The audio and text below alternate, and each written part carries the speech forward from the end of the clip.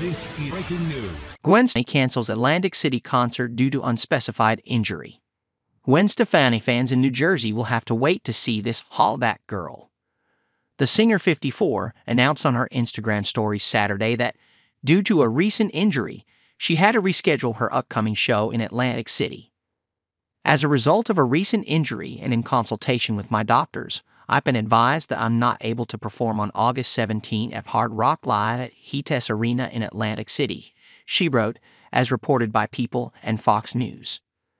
Stefani didn't offer many details about what happened or how severe the injury is, but instead apologized to her fans and promised that ticket holders would get an email update from Ticketmaster as soon as the new show was announced.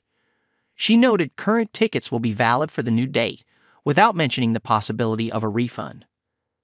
I'm so sorry, and we are planning to reschedule the show as soon as possible, she added. The Hard Rock Live show is not the only upcoming concert on Stefani's tour.